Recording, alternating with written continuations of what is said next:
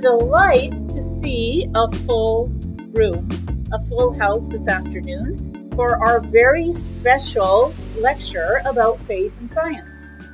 This lecture is part of a series that is in honor of the 50th anniversary of the CSCA, the Canadian Scientific and Christian Affiliation. So, this is an organization I'm proud to be a part of.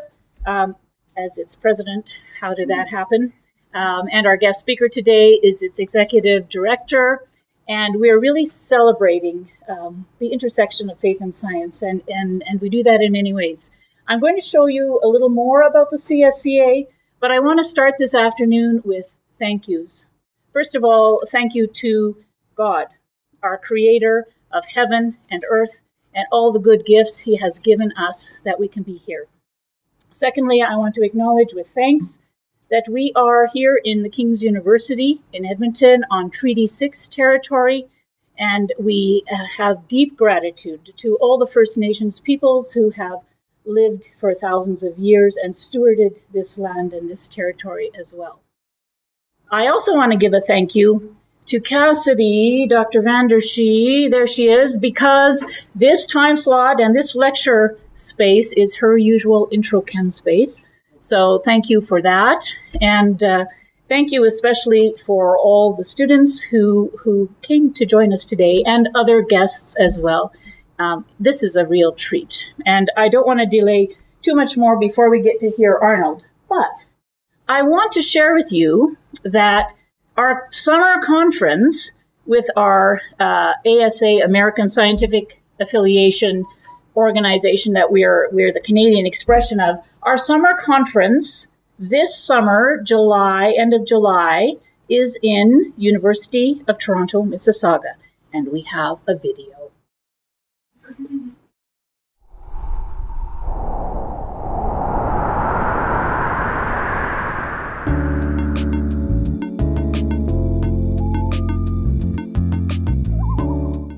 Hi, my name is Arnold Sikkema. I'm the Executive Director of the CSCA, the Canadian Scientific and Christian Affiliation. We are the expression of the ASA in Canada. Next year, we're celebrating CSCA's 50th anniversary, having been formed one year after the ASA's meeting held at York University. Our anniversary celebration committee is co-chaired by Rebecca Dielschneider and Judy Toronchuk. We're holding a Canada-wide lecture series with past presidents throughout the year. We'll be presenting a series of questions and answers with 50 featured CSCA members and holding other fun year-long activities as well as special events at the July meeting. Speaking of the July meeting, we'll be hosting that at the University of Toronto, Mississauga in 2023. Our local arrangements chair is Vlad Passerin, and he'll be assisted by Bob Geddes. UTM is a short distance from Canada's largest airport, Toronto Pearson, and is not much further from the downtown Toronto airport. Plus, it's only an eight hour drive from both Chicago and Boston. UTM occupies a beautiful campus right next to the historical and naturally significant Credit River. We're working on a few field trip possibilities, including geological features of moraines and the Niagara Escarpment. Toronto's Royal Ontario Museum will be able to have a guided tour of the new Dawn of Life exhibit, which includes the world's largest collection of Burgess Shale fossils. In the Guelph region, we'll be able to see the A Rocha Cedar Haven Eco Center with its focus on sustainable development and conservation education, as well as Crieff Hills, which is the National Retreat and Conference Center of the Presbyterian Church in Canada. And we'll be able to see the Royal Botanical Gardens. And now, let's hear about the conference program itself. Greetings. I'm Janet Warren, and along with Robert Mann, I'm delighted to be program co chair for next year's upcoming annual meeting, where we are delighted to be celebrating CSCA's 50th anniversary. We have an exciting lineup of plenary speakers across the entire range of the physical sciences to speak about our theme of the future of science and faith. We have 2018 Nobel laureate Donna Strickland, who will speak to this from the perspective of the physical sciences. Author and filmmaker Megan DeFranza will give us a perspective from the psychological and behavioral sciences. We have Emeritus Director of the Faraday Institute, Denis Alexander, who will talk about the future of science and faith from the perspective of the life and health sciences. We also have IBM Master Inventor, Joanna Ng, CEO of Deveron Design, who will talk to us about the future of science and faith from the perspective of the information sciences. And last, but certainly not least, we have theologian Victoria Lorrimar from the University of Queensland, who will talk about theological perspectives on the future of the science faith dialogue. We look forward to seeing you next summer at the 50th anniversary of the Canadian Scientific and Christian Affiliation, a joint meeting with the American Scientific Affiliation.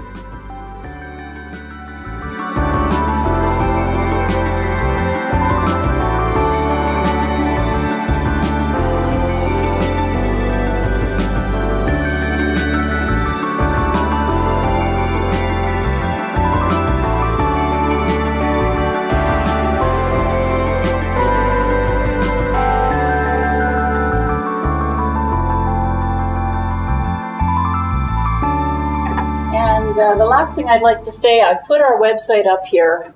Student membership in the organization and registration for the summer conference is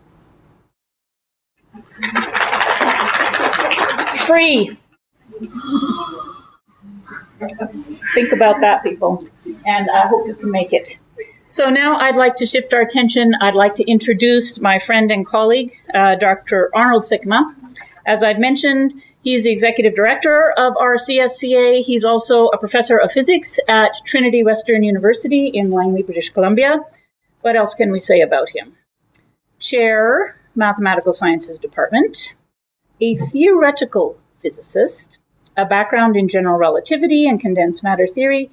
His current research interests are in theoretical biophysics and in the Christian philosophy of science, particularly in the relationship between physics and biology.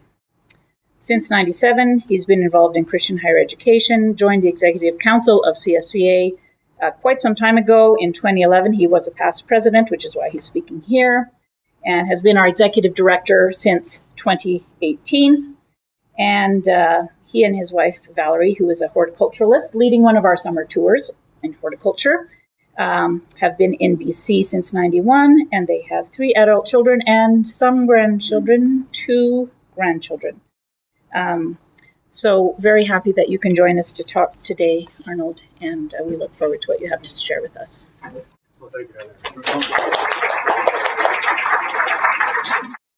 Well, good afternoon, folks. I'm glad that you're able to be here. Uh, such a great uh, crowd. I didn't know I'd be speaking in an organic chemistry uh, meeting slot, but that, that works. Uh, so, uh, yeah, I'm speaking of, about uh, science um, and the creation, fall, redemption uh, narrative. So I'll begin by saying a few words about my own background in terms of, of Edmonton and the CSCA, uh, and then uh, I will explain what we mean, what I mean by the creation, fall, redemption narrative, and then and then um, the last three parts of the talk are about creation and science, fall and science, redemption and science. So Edmonton, my, my journey in Edmonton was in 1990, I was here for a summer uh, USRA, NSERC USRA project at the University of Alberta. I was working with Dr. Werner Israel, and I, I encountered challenges between my then thinking about young Earth creationism and Big Bang cosmology that I was working on. And then I also spent uh, a number of years after Edmonton, partly formed by Edmonton, in, in exploring uh, connections and disconnections between young Earth creationism and, and general relativity. So here is Dr. Werner Israel who is um, who passed away only last year, and I had the honor of speaking about him at uh, the Canadian Association of Physicists meeting last June in Ontario.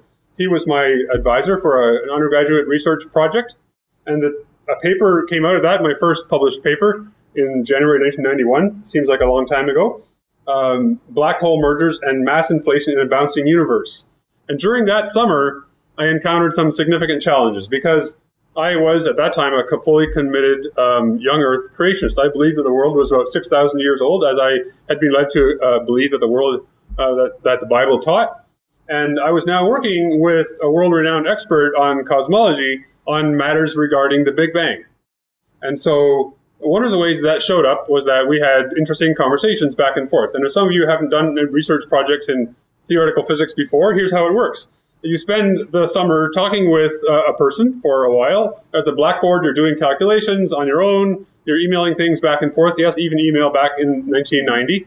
Um, and and uh, about a month before the summer was over, I got an email from Werner Israel with a paper. Here, he said, "Here's the paper that we wrote this summer," uh, which was really his first draft based on all of the conversations we've had over that summer. And um, his my name was first, and then his name was second. So then I sent it back to him and I said, no, no, you're the primary author. You should be first. I should be second. And also a few other changes here and there. And along the way, I wanted to uh, uh, highlight uh, one of the important changes in my faith and science journey. And that is that in one draft of the paper uh, that he had sent me, it said, the accepted age of the universe is 10 to the 60 Planck units. Uh, so he, sorry, he said the age of the universe is 10 to the 60 Planck units. And I needed him to insert the word accepted because I did not believe the world was that old. That corresponds to around uh, 15 billion uh, years, 10 to the 60 Planck units. And so I wanted to insert the word accepted because I, it was true that this was what the accepted scientific thinking was, that the world was that old. I myself didn't want to take that on as a statement for myself, saying that's how I believe the world was in terms of its age. And so he actually accepted my insertion of the word accepted because he was a generous and humble uh, gentleman um, and that allowed me to have confidence in what I was also speaking about in this paper. So uh, he also referred me to uh, Dr. Don Page, who is still a professor in uh, the physics department at the University of Alberta, and he uh, is, is a Baptist and a, and a committed a Christian. And so Israel knew that I was struggling with my Christian thinking about science, and so he said, "Why don't you talk to another Christian who's actually working in this field?" It turns out he was actually away, Don Page was away most of the summer. And then when he did come back, I was actually too afraid to talk to him. And I also was a, little undergraduate, and I was uh, I had a very small ecumenical vision at the time. I figured if he's a Baptist, he's probably not really a Christian because I'm not a Baptist, uh, and Baptist, you know. So I've changed my thinking. I know probably some of you are Baptists, and I fully accept that you are a Christian. So I have no trouble with that, and I work at a Christian university with people from many different denominational backgrounds. So um, that was part of my Edmonton uh, journey, and that followed up uh, followed into uh, a presentation I gave the following uh, summer, uh, where I actually uh, created this graphic down here on the bottom right, where I explained that we really can't know much about much of the universe's history because all we have is a bit of geology and a bit of astronomy that connects things from the from the distant um, past, perhaps. But who knows? It could have started anywhere. And so my thinking was, here's how we can solve the problem um, 6,000 years ago, the world started with its current uh, setup all in place, looking like it was really old, and, and that solves the matter. Um, so, another thing that happened in Edmonton uh, was that a year or two after I started my graduate studies, so actually I switched my field. I switched out of working in general relativity to working in condensed matter theory, partly because of like, the fact that I couldn't handle the science and faith challenges. I had not yet been introduced to the CSCA. Um, and so uh, the hope of these kinds of presentations is that some of you who may be having challenges in science and faith would connect with the CSCA as an organization where there are lots of Christians in the sciences who can mentor and uh, encourage you in your Christian faith and in your scientific uh, career. So in, in around 1992 or 94, I'm not sure what year it was, I think it might have been 92, there was a uh, creationism conference in Alberta. And I was a committed creationist. I was a graduate student now in the University of British Columbia, but I flew to Edmonton for this conference and I met a number of people who were working on solving the problems that I thought would help me as well. And so um, some of the papers and conversations that resulted from that included um, this book, Starlight and Time, by uh, Russ Humphreys. Uh, and uh, I thought this is a great book. I'm going to learn in this book how I can be um, a committed Christian who believes that the world is about 6,000 years old, and it will solve the problem of how it can be that stars are so far away, take their light so many years to, to get to us, uh, millions and billions of years. And so I read the book and I was very excited at first, but then I realized after a while that actually this person was a nuclear engineer, not a general relativity a theoretical physicist. And so it turned out that I knew more general relativity than he did, and a lot of it was actually mistaken. And so it turned out that that book uh, was a dead end for me. Um, I also um, connected somehow, perhaps through that conference, with a fellow named Robert Gentry, who died only three years ago now. Um, and he worked. He was uh, also a geo- he was a geologist, but he was beginning to work on how we could use the methods of general relativity to also solve the problems of the age of the universe. And he had some alternative models that he was working on. By that time, I was starting to have uh, some troubles with the way general relativity was being used uh, by people in that in that young Earth creationist community, and I challenged uh, Bob Gentry quite a lot, and um, I identified his math and physics errors along the way, and he never got his papers published in the scientific journals. Um, but I had a, about a, a, decade or a decade and a half long conversation with him, including meetings and, and email over the years. And so that all uh, is a bit of my Edmonton background. And then my CSCA background uh, developed near the end of my graduate studies. I had a friend, uh, um, Rick Bartman, who was a physicist at TRIUMF, a, new, a particle accelerator, uh, a nuclear laboratory at the University of British Columbia, and he introduced me to the to the CSCA in 1996. And so I became a member, a student member. I think student membership was free even then, and um, and so I joined. Uh, and then my journey with the CSCA has continued. So I spoke at a conference in Arkansas in 1999. And then I uh, was appointed to be the program co-chair for the 20, 2008 uh, meeting in Oregon. And a few years later, I became the president, the vice president, uh, and then the president, and the past president, and then the executive director. Um, and during the local chapters project, um, which was funded by Templeton for the period of 2016 to 2018, I also gave a national lecture tour on quantum physics and Christianity. And down here on the bottom right, you see a picture of some people in this room uh, uh, having dinner together on the day that I gave that uh, talk. I gave a talk here in this uh, campus as well as at the University of Alberta that day. Um, so that's been a, been a bit of my journey with the CSCA. So that's uh, by way of sort of introduction and connecting with the, the organization. So what is the creation, fall, redemption narrative, and how does that connect to, to science? That's the bulk of my talk then. So I have a number of uh, authors, some of, our, some of whom are maybe more or less familiar, depending on your background, that introduce what is meant by the creation, fall, redemption narrative. So the idea is that Scripture tells a story.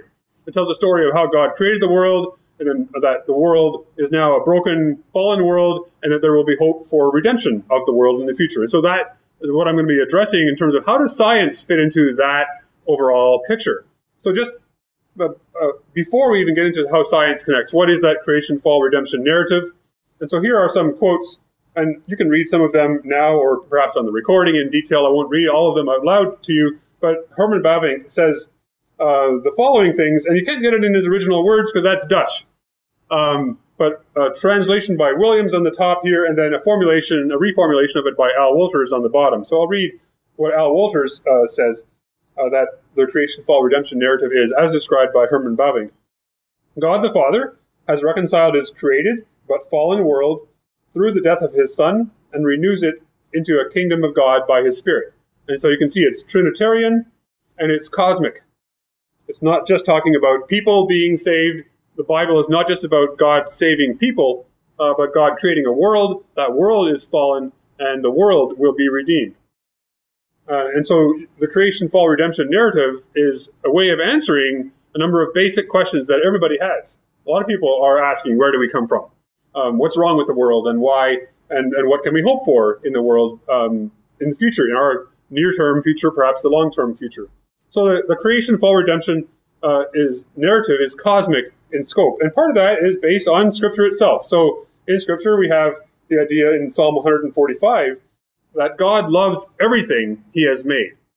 God's love does not extend only to people or perhaps even more narrowly, some people might think only to like his chosen people, but God's love is cosmic. God loves the entire cosmos. In fact, this is also in John 3:16. So, as you all know, you have memorized John 3:16, for God so loved the cosmos. Actually, most of us memorize it as God so loved the world, but the Greek word is cosmos. God loves the entire cosmos. Why did God send his son? Because God loves the cosmos. And so that is an, a, a hint that scripture gives us that God uh, has a plan not only for humans and his relationship with humans, but with all of the cosmos. And that's where part of the connection right away begins with how does science then factor into that story. Um, Al Wolters, who I already mentioned, has a book called Creation Regained. Uh, and uh, the idea here, I'll just read Al Wolters for you. God does not make junk, and we dishonor the Creator if we take a negative view of the work of His hands when He when He Himself takes such a positive view. In fact, so positive a view did God take of what He had created that he refused to scrap it when mankind spoiled it, but determined instead, at the cost of his son's life, to make it new and good again. God does not make junk, and he does not junk what he has made. So creation, fall, redemption are all in this uh, passage from, from Al Wolters as well. Um, another uh, pair of authors, Craig Bartholomew and uh, Mike Goheen, and the title of this lecture refers to that, that drama, that narrative as well, the drama of Scripture. When God set out to redeem his creation from sin and sin's effects on it, his ultimate purpose was that what he had once created good should be utterly restored, that the whole cosmos should once again live and thrive under his beneficent rule. And this is a long quote from Tom Wright, but I just wanted to illustrate that uh, one of the world's most prominent theologians also has the same uh, kind of perspective. That as Christians tell a story of a good creator longing to put the world back into the good order for which for which it was designed. Some of you are speed readers, and so you can read the whole uh, quote. Um, so, uh, and then the shortest version of this is Alister McGrath, who is himself uh, who is a scientist and a theologian in the UK, and I had the pleasure of spending a, a few years of summers working with him uh, as well. Though the world has fallen through sin, it remains God's good creation and is capable of being redeemed. So, how does that fit then into how does science fit into that creation fall uh, redemption narrative? How do Christians who are scientists see their work perhaps as as as part of that overall drama of Scripture, the drama of, of the cosmos? So, um, a few points that I'm going to be speaking about. The world is amenable to science. Um, God has a covenant with creation. Uh, God endorses our senses. Uh, the idea of critical realism connects to uh, what it means that God has created the world. And then, uh, fifthly, lastly, it's not just about creation being somewhere where God's where things start. So I have a number of authors and that have influenced how I've thought about these things over time. And the earliest uh, author here is is Nancy Pearcey, whose book The Soul of Science points out a number of features that the world has that makes the world be just the right kind of thing that we can study science. Um, that we can study the world and that we can develop uh, scientific practices. So these are uh, specifically Christian ways of thinking of the world, thinking of the cosmos, and so we refer to the world as creation. Alister McGrath makes that point that the, the basic Christian way of understanding the world is that the world is God's creation. Um, and creation has properties that make it amenable to doing science. So creation is real. It's not imaginary. It's not um, virtual uh, it's it's real. We actually do interact with uh, a real creation, and we'll see a bit more about this in terms of critical realism. Creation is subject to laws. The idea that there's a lawmaker who has established an orders orders and principles for the world to function according to is um, what makes science possible. Creation is good. It's not something that we hope to one day be rid of. We we want to get um, out of this world into some new uh, spiritual only reality of the future, God is a good creator and he made the world as a good creation. And therefore it's worthy worthy of study. God is is has rationality about himself, and so he created the world in a rational uh, sort of way. And uh, finally, the point is that the world is not a divine thing. We're free to actually manipulate the world. We're, we're free to like poke around and do things and not be afraid that the world is somehow a god that we might be disturbing if we are doing experiments. And so these are the features of the world that Nancy Pearcey identifies as being important for the development of science. And, and she identifies these as, as coming largely from a Christian way of thinking, not um, from other uh, religious uh, uh, backgrounds. So one of my main perspectives about how creation functions um, with respect to science is through the notion of covenant. Now, some of you, depending on your background, and, and my background was like this, that I figured God's covenant is a covenant made with people. God makes a covenant with uh, with individual people, or maybe with communities of people. But in fact, the Bible speaks much more broadly about covenant, and that is God has a covenant with creation. So uh, in Genesis eight twenty two, uh, the rainbow becomes a sign of the covenant uh, and the covenant is as follows As long as the earth endures, seed time and harvest, cold and heat, summer and winter, day and night will never cease. So God is making a promise to be faithful to uh, the way that he will relate to the world. And that faithfulness we depend upon in order to be able to do our scientific work. Uh, we expect that the world will function regularly. And what basis do we have for that regular functioning of the world? Except that God has a covenant with creation and that God is faithful to that covenant with creation.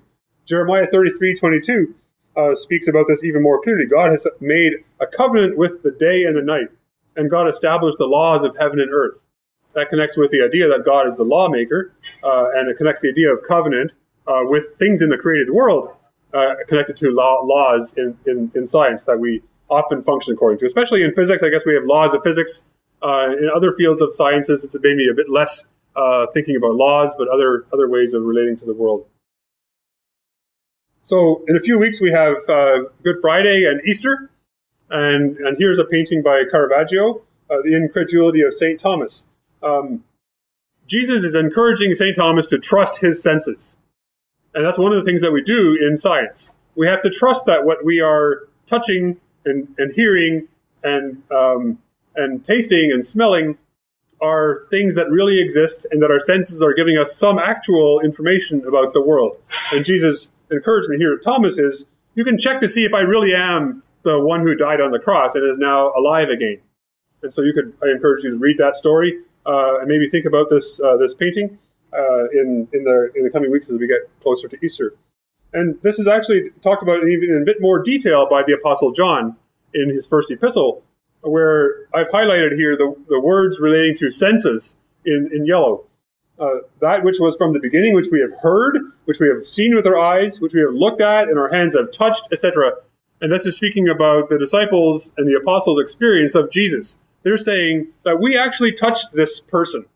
He's not just in a figment of our imagination. He wasn't like a, a spiritual uh, cloud that we would sort of approach and then like, oh, he's poof, gone. No, this was a real person who really spoke. And um, this is the word of life, Jesus Christ, the word of life.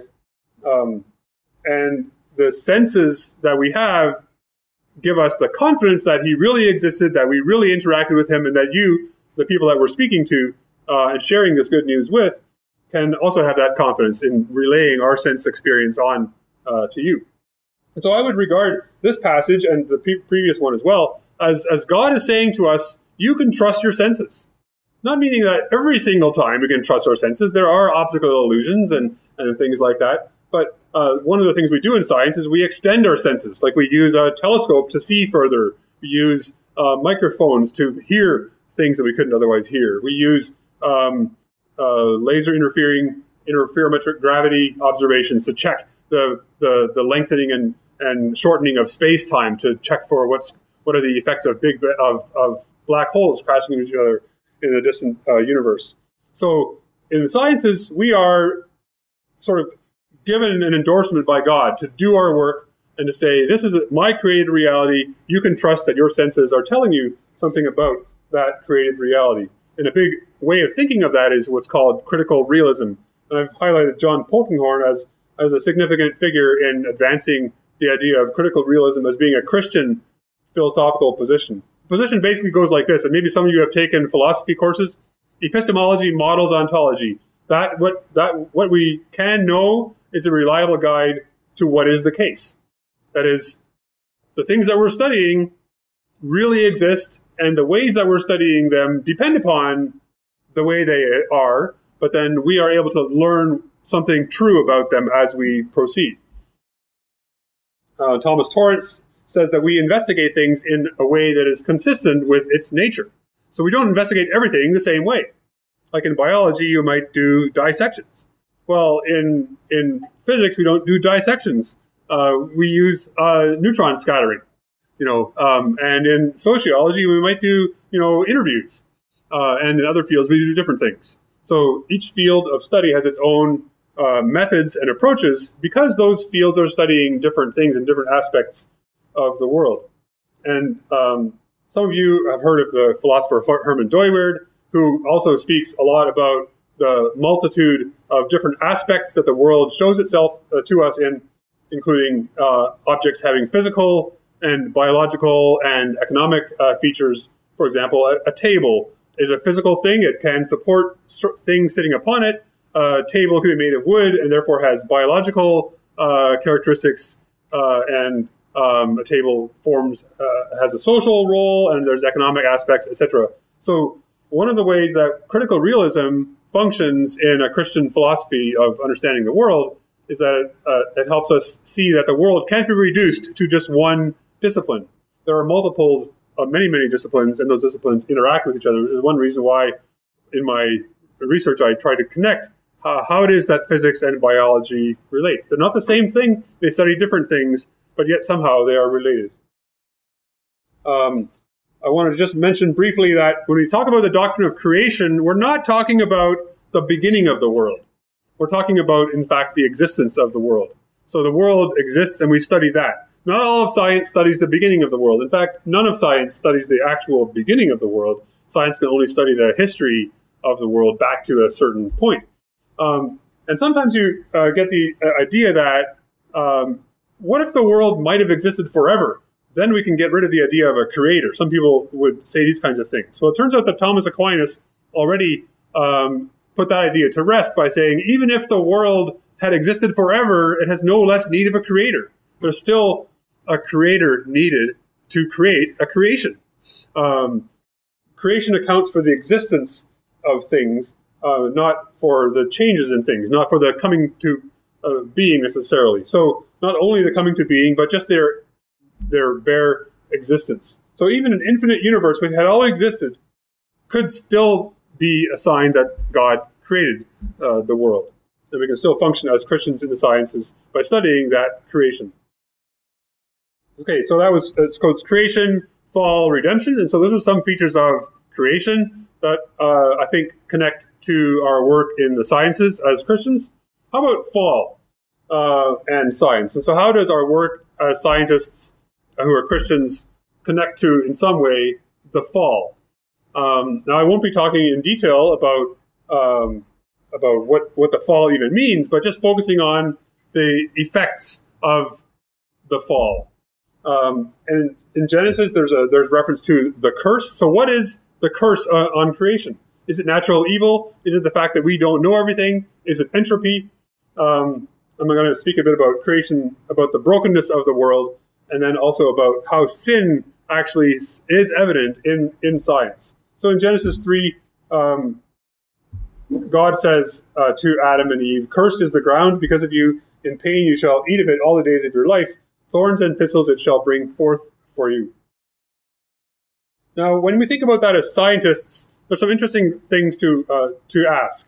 It, does this mean that natural evil arose when God pronounced this curse upon the first sin? And when we look at this, we realize that we have a history in this world of volcanoes that predate humans, we have a history of meteor impacts that predate humans. We have a history of storms and diseases that predate humans. All of these kinds of things that some people call natural evil or bad things in the world um, have existed long before humans did. And interestingly, some of us are, who are marine biologists might be a bit disturbed by a promise given in Revelation that one day there will be no more sea. And so, how do we deal with that? Uh, so certainly, there's there's interesting uh, metaphor and things to think about in this regard. I think the sea does not necessarily mean that place featuring beautiful, bountiful marine life, but it's a place of horror and threat. And so there will be no more horrors and threats. It doesn't mean there will no, no longer be an ocean, but the ocean will no longer pose a horror or threat to us. So, looking back to uh, volcanoes, here's um, a picture showing the the Pacific plate. Some of you have perhaps been to Hawaii. And if volcanoes came about only in response to human sin, that God made volcanoes start to happen because Adam and Eve sinned, then we wouldn't have Hawaii because Hawaii uh, was already going on long before um, before humans came on the scene. So the Pacific plate moves across a hot spot and there's volcanoes. And what do volcanoes result in? Well, death and destruction, maybe sometimes, but also into beauty and amazing uh, ecological uh, flora and fauna of Hawaii. And so volcanoes apparently have been used by God to create um, diversity and wonder um, in this world that we can already uh, begin to explore. So what I'm saying is I don't think that uh, that the fall means that these things started to happen. We also know that, uh, that we have a history of meteor impacts. If we hadn't had the meteor impact that killed off the the uh, the dinosaurs, we may not have arisen as humans on this world. We needed to have space. So one of the ways that God is, seems to have prepared this world for human existence is that he wiped out the dinosaurs by causing a meteor to crash into it. So that meteor did not crash into the earth because of human sin, because it happened long before. Uh, but yet there's this kind of an event that sometimes is described as natural evil. So I guess I'm giving negatives on things that that I don't think are a result of the fall or an example, really, even of the brokenness of the world. Uh, here's another Alberta story for you. So, um, in Dinosaur Provincial Park in 1989, there was a discovery of of um, of a horned dinosaur, Centrosaurus apertus, and this dinosaur roamed the Earth about 76 million years ago, and it was discovered in 1989 down in southern Alberta. And then uh, some scientists from the Royal Ontario Museum were there and noticed it in 2017, and they did some further study. And then a couple years ago, uh, they published a paper showing that there was osteosarcoma, bone cancer, on this dinosaur. So this dinosaur, living 76 million years ago, had cancer. And so is cancer a result of human sin? Well, this seems to indicate that's not the case. So cancer existed long before uh, human sin. So um, how do we deal uh, with these kinds of things? Uh, is the fall uh, perhaps uh, does the fall result in incomplete knowledge? I've come across people who say that because of the fall into sin, we now no longer know everything. We once did know everything, then we sinned, and then we lost that knowledge. Uh, I think that's a, a, bit of a stretch, and it also dispenses with the dif- difference between the fact that we're finite beings and that we're fallen beings. So finiteness is not fallenness.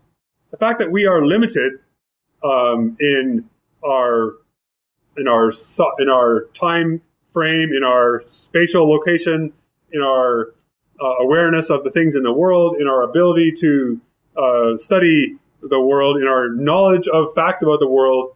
That's those are all just because we're finite beings. Uh, none of us knows all of the digits of pi. It would in fact require an infinite being to know all of the digits of pi.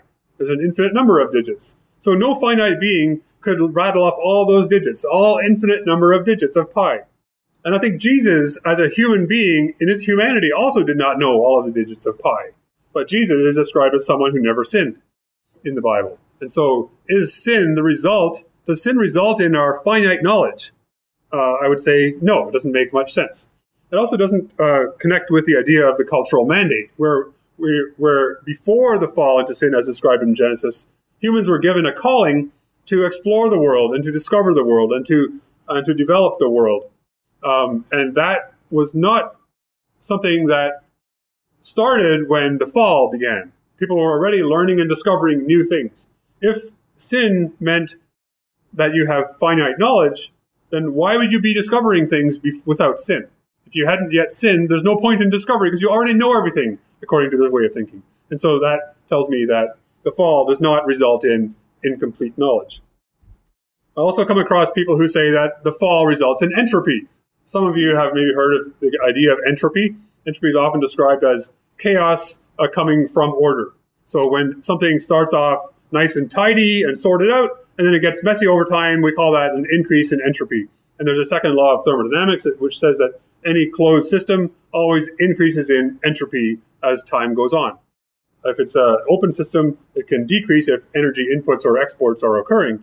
Uh, but as long as the system is closed, the entropy is going to have to increase, or at least definitely not decrease. And so there is this sense that disorder grows as a result of entropy.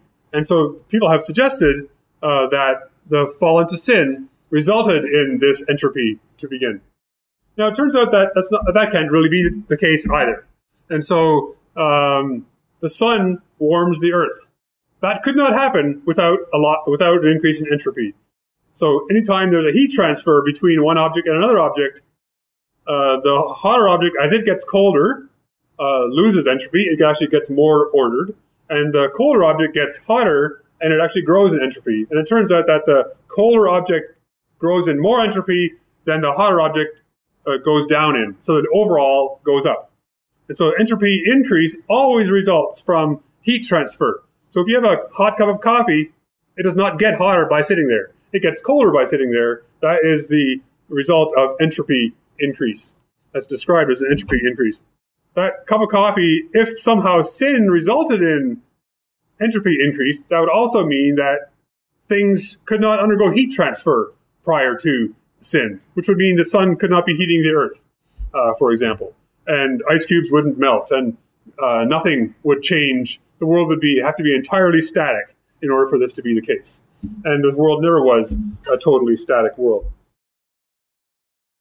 Um, one of the really valuable ways that I think does help us understand about what the effect of the fall really is is to think about the world and our place in the world in a network of relationships.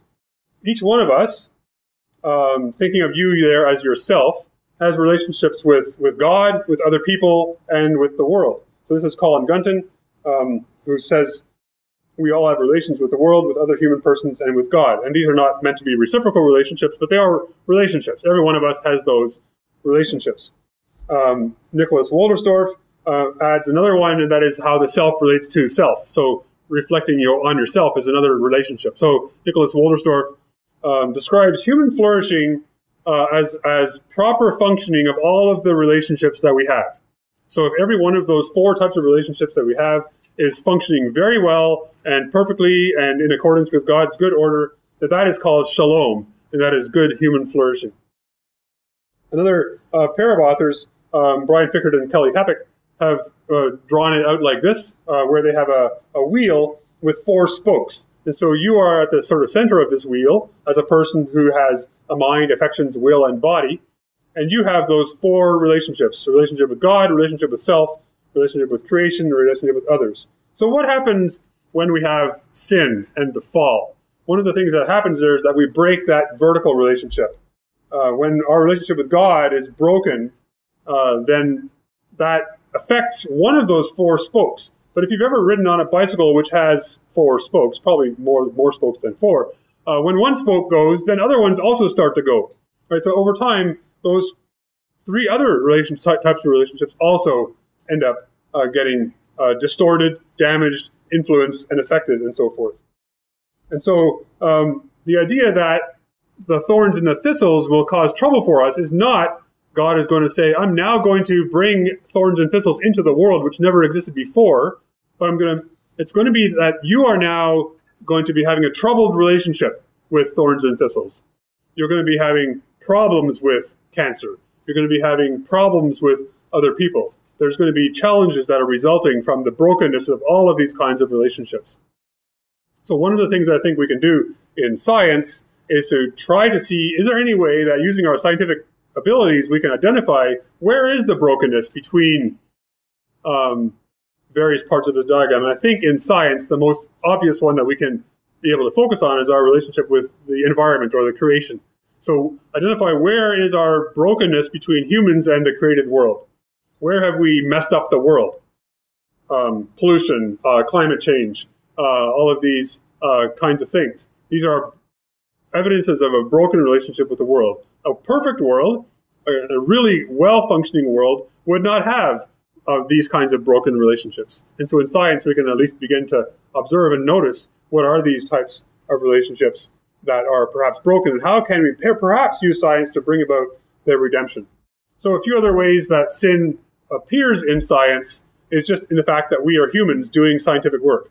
So, when we are doing scientific work, we're doing things like selecting and we're maybe sometimes suppressing things. And so, if we do an experiment and we want to be proud of our results, we might pretend that we didn't get this bad result over here, right? We might fudge the data. That would be an example of being a sinful human being in the act, action of in the scientific activity itself. We also have in the scientific community there's been uh, lots of attacking other people. Like uh, I'm smarter than you. You're kind of dumb. Your idea is stupid. Like usually said in fancier words. Um, uh, and sometimes even in peer review and in published uh, articles and that sort of thing, where we attack other people. We're often proud, especially I think in physics. As a, as a graduate student in physics, I was very proud of my knowledge in physics, my ability to do physics problems, uh, and the fact that physics was going to solve all of the world's problems. If anybody wanted to be really like, why are chemists like they're not really very smart because if they were smart, they'd be physicists, right? And so that was my pride and arrogance, which I would regard as a sin. Uh, and reductionism, that's I think another example of sin, where you think it's connected with what I had there about the pride. That is, thinking that my own discipline is the only important one. Everything else is subservient to it. And my discipline should really expand and take over all the other ones. And there are definitely even Nobel Prize winning physicists, not the speaker, Donna Strickland, who's speaking at our conference this summer, but others like Steven Weinberg, who actually have explicitly stated that physics can actually help us, can give us the understanding of every single thing about the whole world, including like human emotion. Like physics can really be the thing that will help us know all about human emotion. And I say no to that. That's a sinful, reductionistic idea. We have fields of psychology that actually address those things much better than physics ever would. And psychology can't be reduced uh, to physics. And then finally, um, I think it's a sin in science and a, of a type of idolatry to say the world uh, can we will use science as our savior. So if only we would just be really good scientists, then we uh, then humanity will be saved, and all problems of humanity will be addressed through scientific work. And that is sort of a savior complex that some scientists might have, and that some people might look to science as being that savior. And I would think think that uh, we really need the savior, and science is not is not the savior. So that's creation and fall, and our last part is here about redemption. So how does the redemptive aspect of of the creation, fall, redemption narrative of Scripture affect or relate to how we can function in science? And I have sort of four uh, main uh, points to make over here: expansion of knowledge, dissemination of wonder, unification of knowledge, and science for the glory and of God and benefit of humankind. And one of the ways that I think science is redemptive is that it gives us uh, all of humanity, perhaps the individual scientist, but also as that knowledge is disseminated, uh, an expansion of knowledge. I think it's just a wonder. Don't we all experience wonder and joy, and begin, begin to function perhaps more um, uh, uh fully humanly when we see and learn more things about the world? I think knowledge.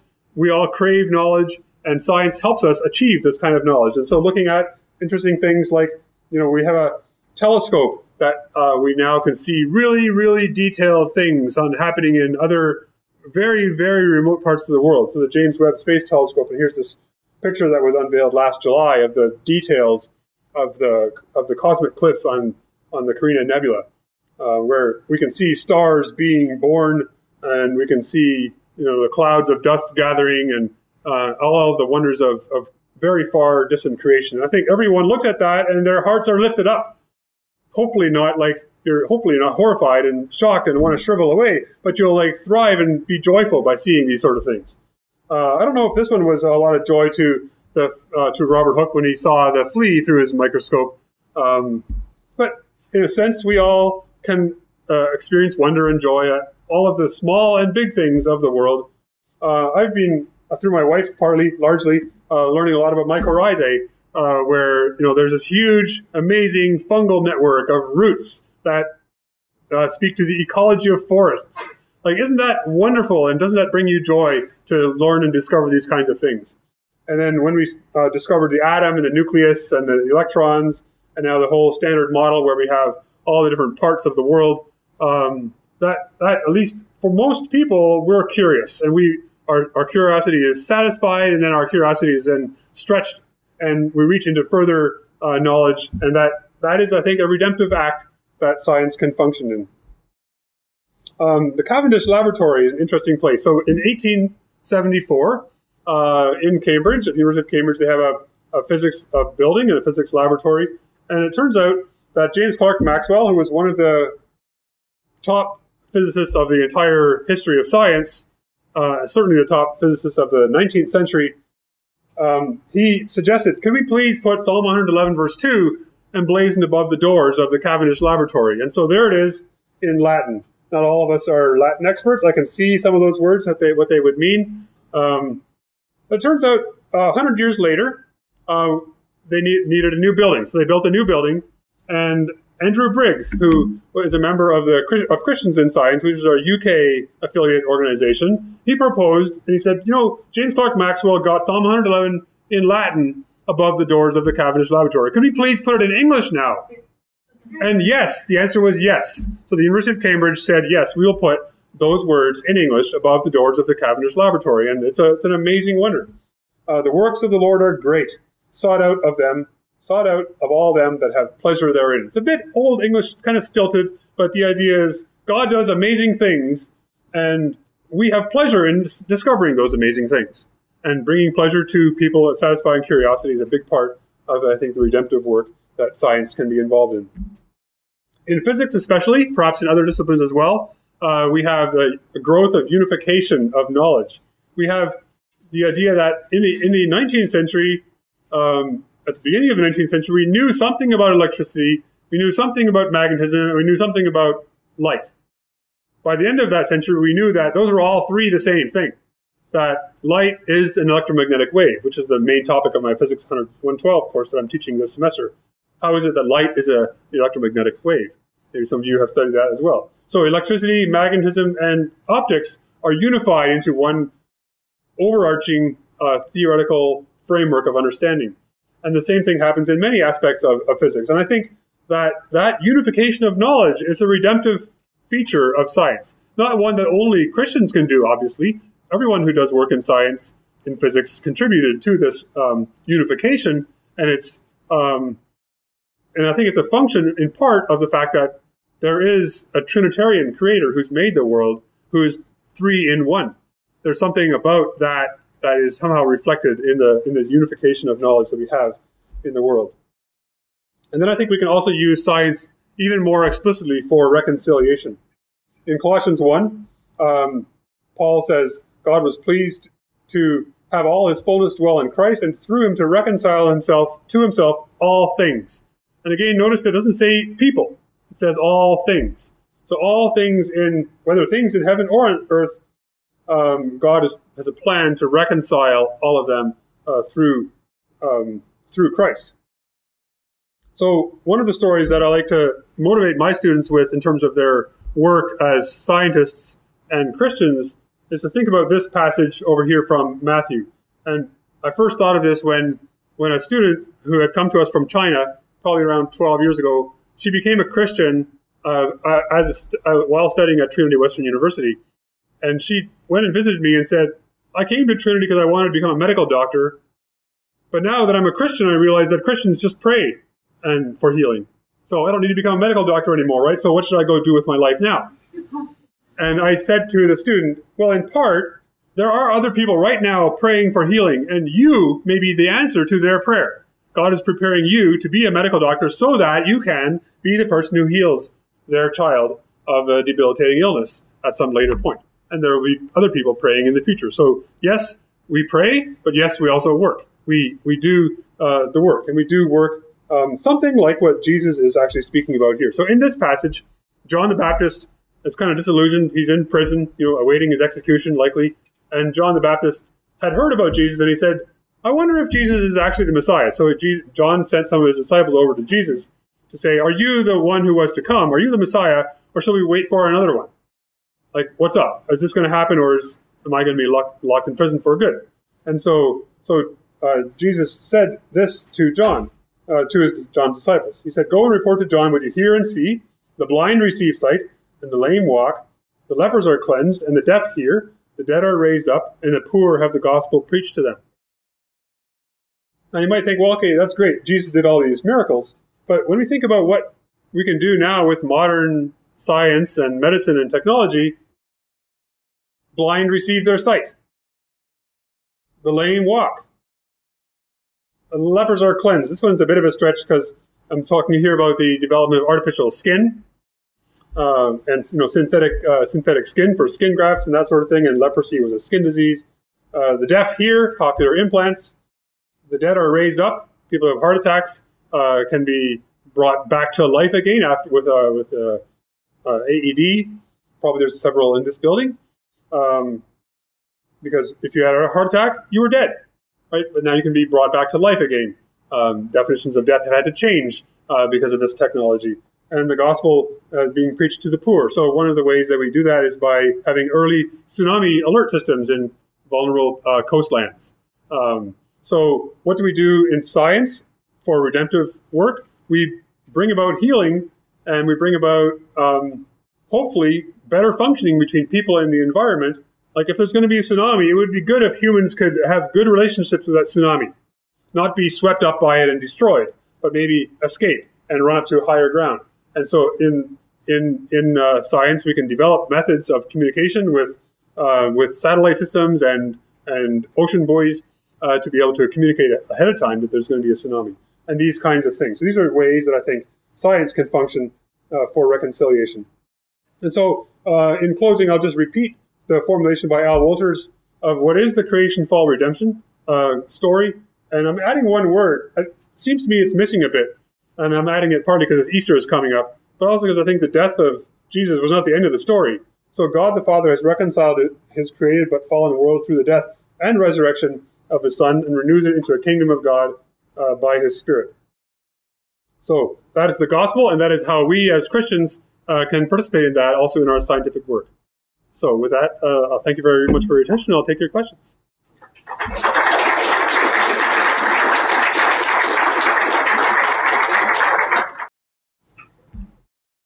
How do you get a scholarship for the conference? Uh, are you asking me how do you get a scholarship for the yeah, conference? If I was a student who wanted to come yeah. to this conference yeah. and benefit in so many ways, what would I do next? I think you would submit a poster, an abstract for a poster. Okay. Uh, and then give a talk about your summer research project from last summer or from this summer, uh, and connect with other scientists uh, who are Christians at this conference. Are there bonus points for asking uh, questions that stump the speaker? I would hope. Uh, I'm looking forward to a stumping question. Yes, yeah. students props okay, are here with bonus marks. You talked about science as extending our senses and the ways of seeing things we couldn't with our natural abilities. Uh, and you talk about telescopes and stuff. Could you expand it to a couple more disciplines? So, as a bias, I'd love to hear a bit of computer science, but there's also you mentioned psychology, some other things as well. Is there a limit to that, or does that extend to all of science? Um, I guess some sciences are more sort of directly connected to like seeing and hearing and touching. Tasting usually not so much. Uh, smelling often, I guess. So any kind of technology that extends any of those senses. In fact, I guess really there's also a sixth sense, like proprioception, which is like our sense of where we are in space and orientation and that sort of thing. So any kind of technology that that enhances those or maybe even replaces those for people who have lost those, right? So the cochlear implant one, um, you know, maybe people hearing degrades and then have that replaced um, with some kind of electronic uh, sensor. And, you know, now we have uh, sniffing robots, right, that can smell things, um, which, and, and smell things a lot better than humans can.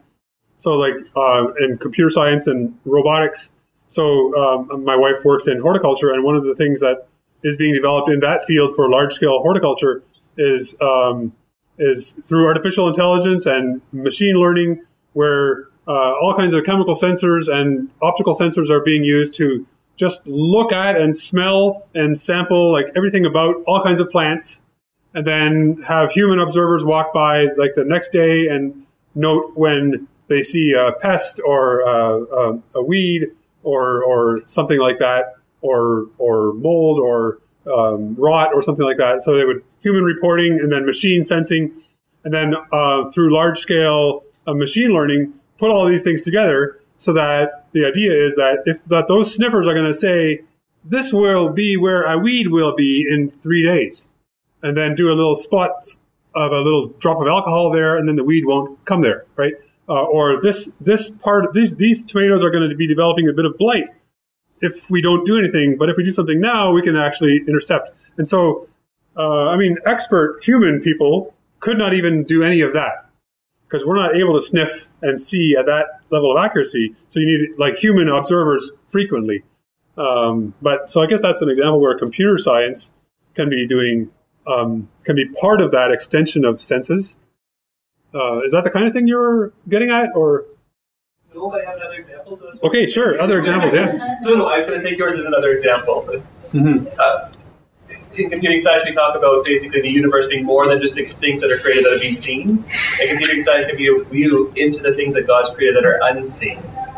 And so I know physics has relationships with that too, uh, where like electricity, you can't see it, but you can observe it through technology things as well. Sure. Yeah. Yeah. So yeah. So yeah. Right. So we're not just like a microscope doesn't only give you the ability to like see better, but also see more broadly, like looking at uh, different wavelengths. In fact, this the James Webb Space Telescope is looking at the infrared part of the spectrum, and we have telescopes that look in gamma the spectrum, the radio spectrum, um, the ultraviolet, uh, all of the different parts of the spectrum.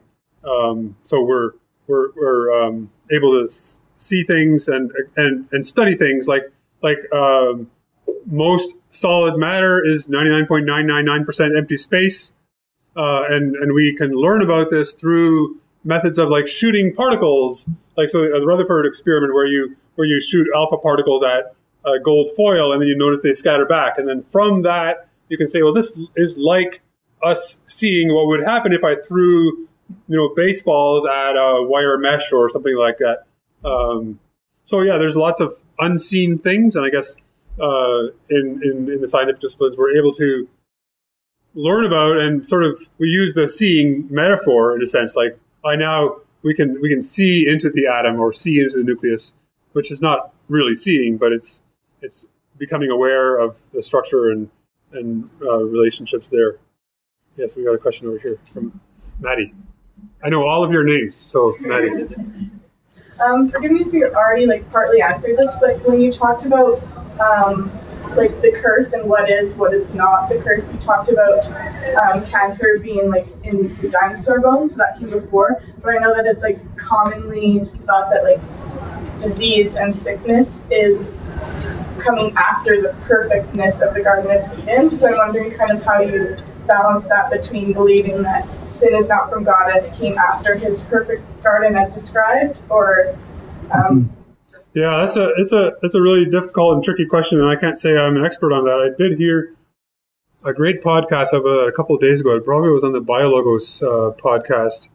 Um, uh, Bethany Sollereder has a great book. Bethany Sollereder is a past uh, student and early career representative for the CSCA. She now she's now a professor in in the UK. I think it's Exeter.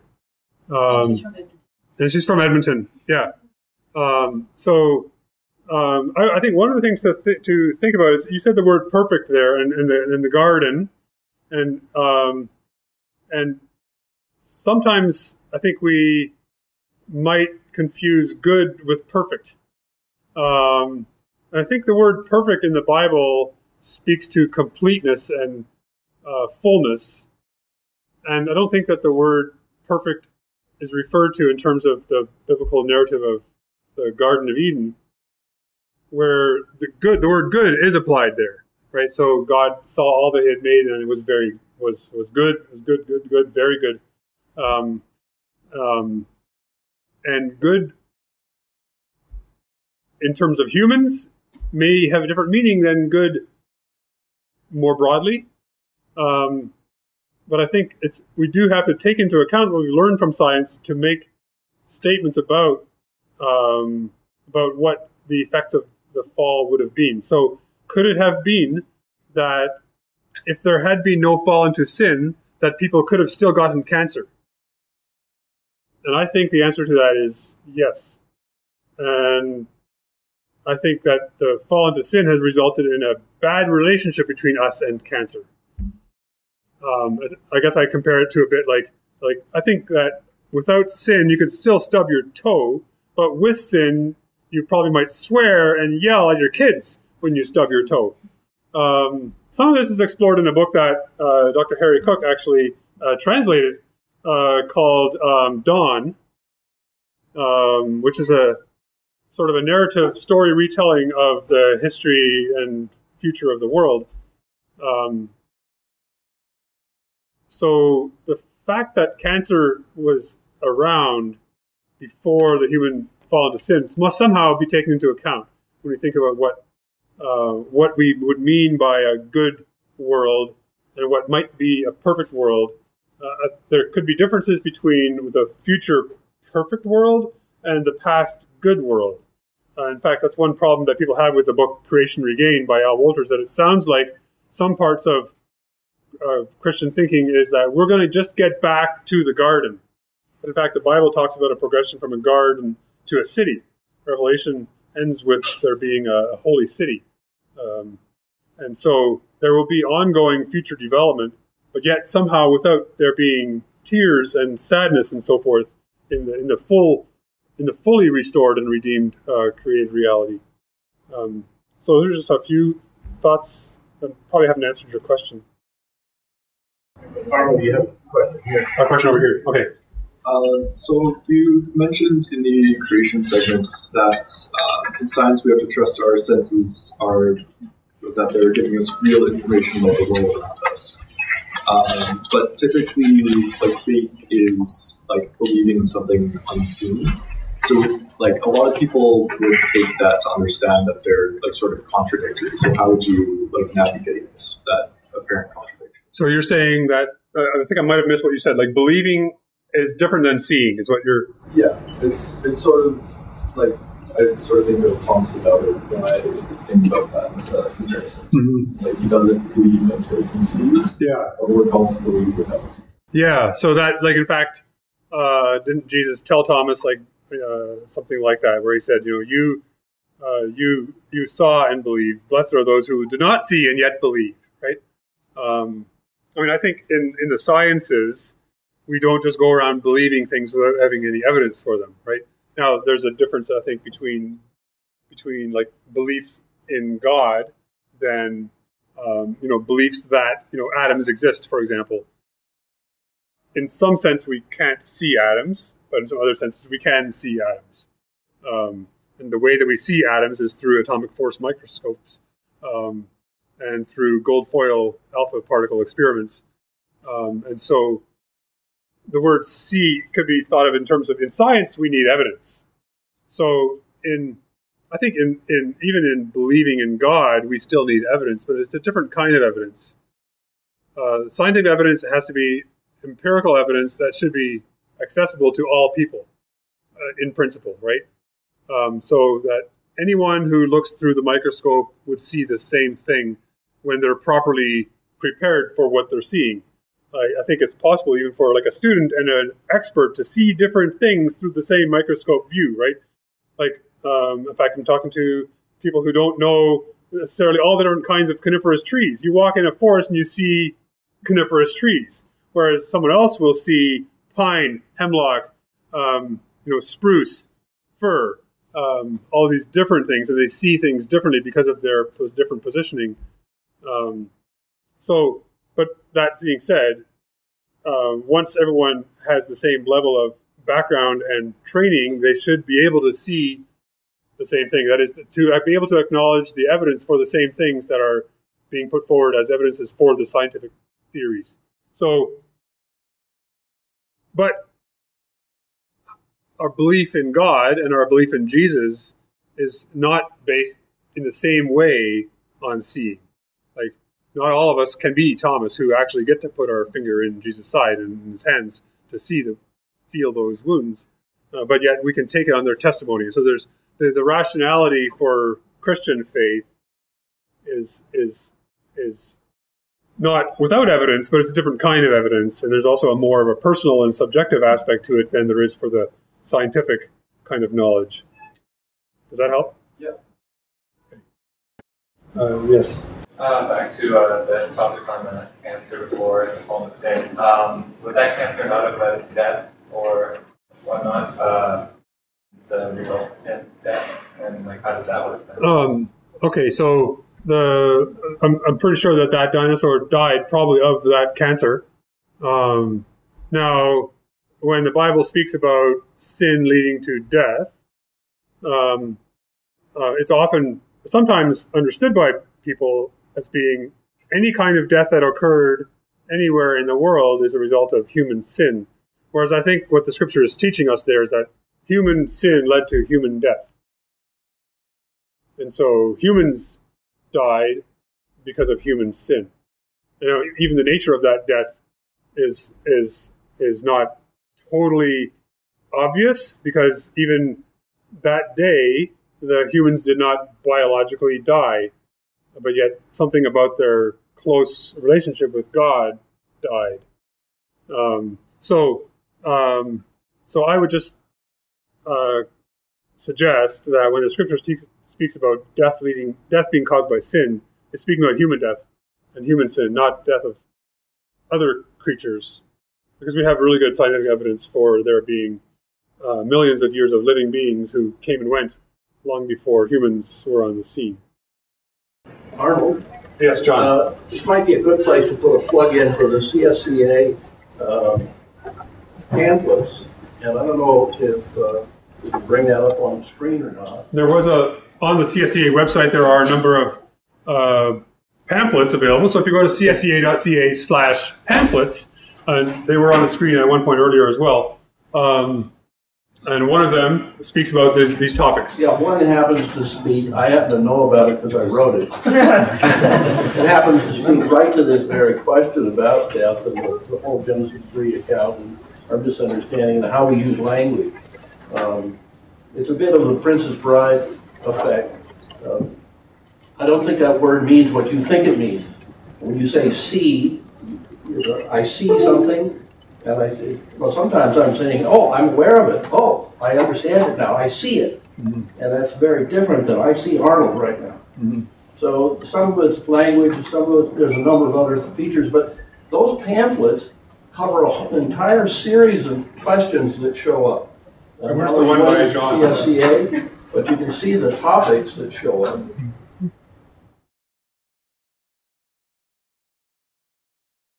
There we go. Ecology and the necessity of death. So John Wood, he's a, the best person to ask this question of in this audience.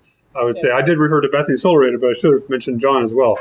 But there's a number of these kinds of pamphlets that are available. The nice thing about CSCA and ASA and these organizations is that you get to thinking of Christian men and women who are in the professional fields in philosophy, theology, in the natural and social sciences.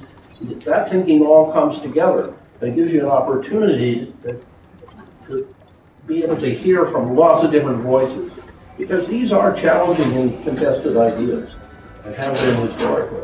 Well, I think we've been treated this afternoon, thank you so much, Arnold, to an invitation into more dialogue, into more thinking, into challenging us uh, on many levels. Here's some great resources uh, on our CSCA page. I encourage you all, and I'd like to say, I hope this is all right, Arnold, that Arnold's going to be on campus for the next couple of hours and would be open to speaking with any of you who would like to talk to him a little more. Thanks again to all of you for coming, and we look forward to interacting in the future.